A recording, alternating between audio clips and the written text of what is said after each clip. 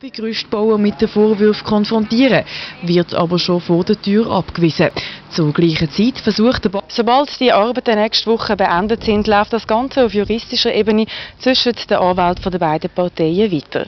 Für Tele Zürich aus Rickenbach, Dana Gablinger.